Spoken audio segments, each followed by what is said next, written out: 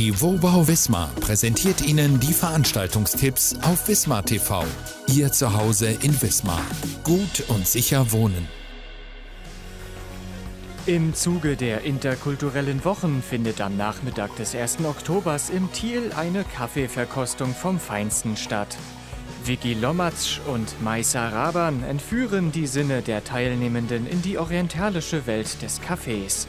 Sie stellen verschiedene Zubereitungsarten und Kaffeesorten vor. Die Anzahl der Personen ist begrenzt, somit ist es ratsam, frühzeitig eine Anmeldungsmail zu senden. Das braucht kein Mensch. Genau, so ist es. Jetzt ist auch mal gut. Schluss jetzt und los geht's. Aber wie? Fangen wir von vorn an oder machen wir weiter oder warten wir erst einmal ab? Wir sind ja noch nicht richtig durch. Was ist wirklich wichtig? Das sollten wir uns jetzt wirklich genau überlegen. Obwohl, Zeit zum Nachdenken hatten wir doch alle genug. Vor allem die Künstler. So auch die Kabarettisten vom Rohrstock.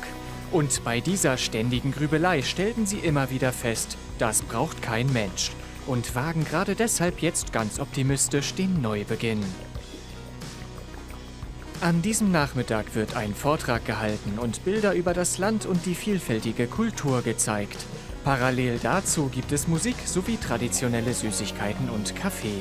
Die Veranstaltung findet im Rahmen der interkulturellen Wochen in Wismar statt. Sie dient als Möglichkeit der Begegnung verschiedener Kulturen.